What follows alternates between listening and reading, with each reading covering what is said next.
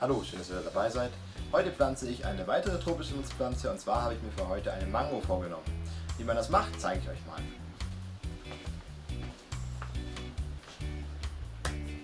So, wenn ihr eine Mango pflanzen wollt, braucht ihr natürlich zuerst mal eine Mango. Die habe ich schon mal gegessen und übrig bleibt dann dieser Kern. Den habe ich schon mal etwas abgewaschen und geschrubbt und so gut es ging alle Fasern entfernt. Den können wir allerdings nicht so pflanzen, wie er ist. Das würde ewig brauchen, bis der aufgeht. Im Innern dieses Kerns befindet sich allerdings ein Samen. Und da könnt ihr gucken, an einer Stelle ist dieser Kern meist etwas breiter, am, hier am Rand. Da kann man mit einem Messer reinfahren und den Kern dann knacken und aufhebeln. Ich habe das Glück, dieser Kern ist schon etwas weiter offen und ich kann jetzt einfach so mit den Händen vorsichtig auseinanderziehen.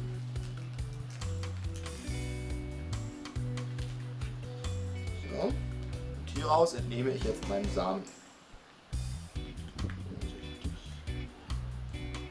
Wenn wir den Samen hier so entfernt haben, können wir den jetzt in einen Topf einpflanzen.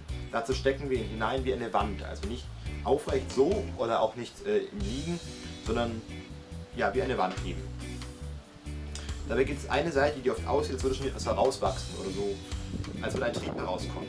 Das ist tatsächlich die Wurzel, was wir hier sehen und diese Seite kommt so nach unten.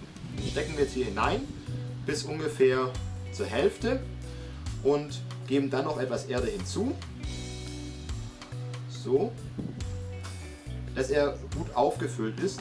Die Spitze können wir aber ruhig ein bisschen rausgucken lassen. Und wenn wir ihn eingraben, dann immer nur ganz flach.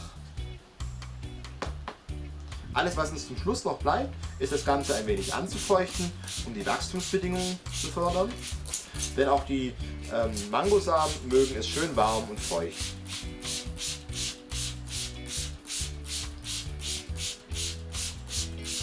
So, das war's für heute. Ich hoffe, es hat euch gefallen. Wenn ja, würde ich mich über einen Daumen nach oben natürlich freuen. Ich werde die frisch gepflanzte Mango jetzt zu meiner Avocado in die Kiste stellen und warte bis vorzukeimen. Wir sehen uns wieder am Montag. Ciao, bis zum nächsten Mal.